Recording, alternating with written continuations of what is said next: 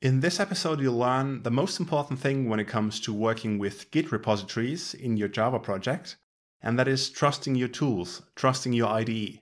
And I get it, you want to have full control over whatever your IDE is doing and what Git commands it executes, but I'll show you how to keep that full control, but also take advantage of all the cool version control features that IDEA offers.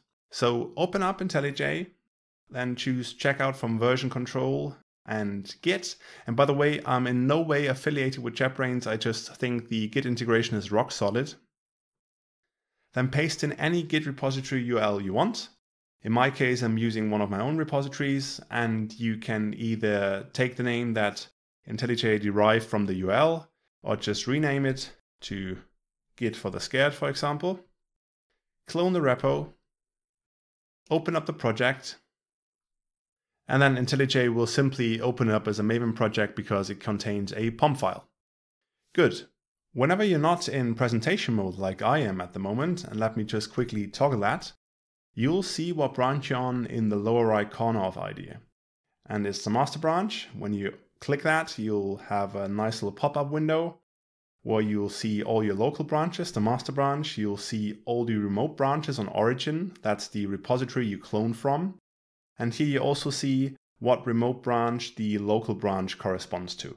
And you can create new branches and checkout tags and whatever. Now going back to presentation mode again. And what helps is to bind that tool window to a nice little keyboard shortcut so you can open it up whenever you want to, like so, and then you can do the very same thing. Good, now let's get started. Get our hands dirty, go to the source main Java folder, and create a new Java class. And for the lack of a better class name, I'll just call it kitten. And then IntelliJ asks you, do you want to add the following file to Git? Choose no here because you want to compare the manual way of doing things with the IntelliJ way. Then maybe add a new method, public void blah. Doesn't have to do anything. Prints out blah. Now, what would you need to do to commit that file to the Git repo now? In the past, I've seen colleagues open up a terminal window or command line window, and you can do the same.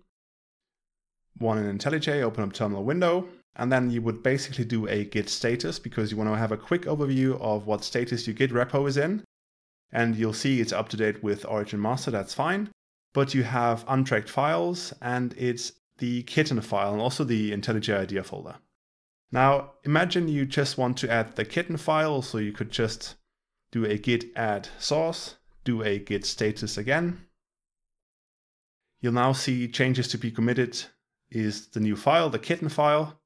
Now you could do a git commit with a commit message, added the kitten, right?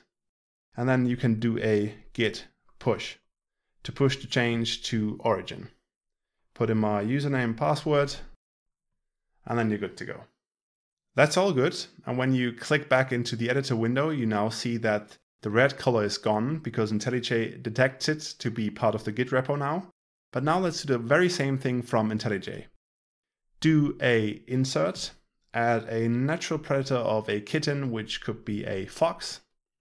This time do a yes, you'll see the color change to green because that signals a new file being added to the repo. And as I promised before, you want to see what's going on. So go to the version control panel and there's a there's a couple of different tabs and there's also a console tab.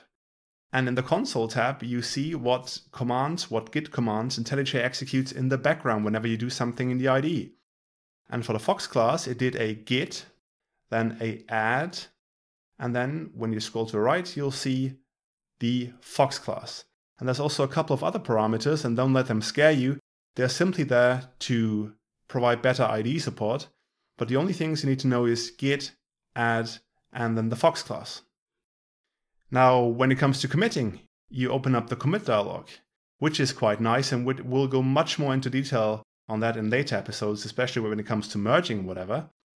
But you'll see here the file, the Fox file. You could also choose if you had multiple files not to select it and not to commit it again, just by clicking it here.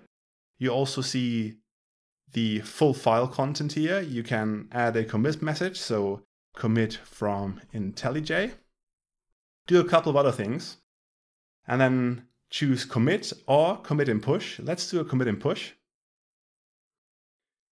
So IntelliJ committed the change in step one. In step two, we want you to confirm the push to the to origin.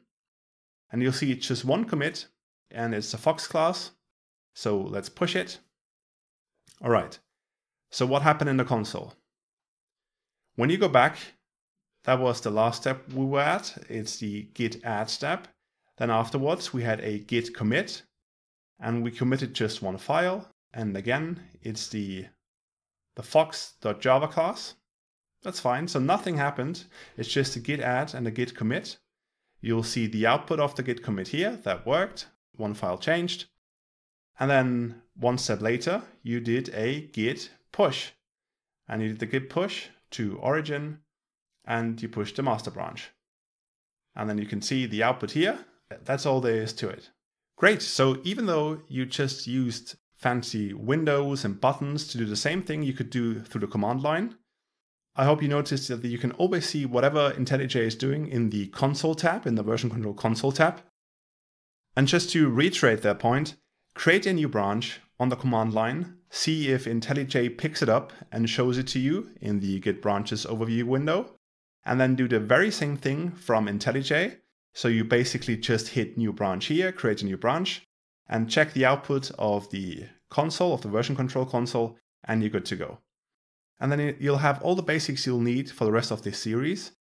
And we're going to get into all the typical workflows a Java developer needs on a day to day basis, including managing branches, keeping them up to date, getting rid of the fear of merging or merging in general, and whatnot. So let's get right after that.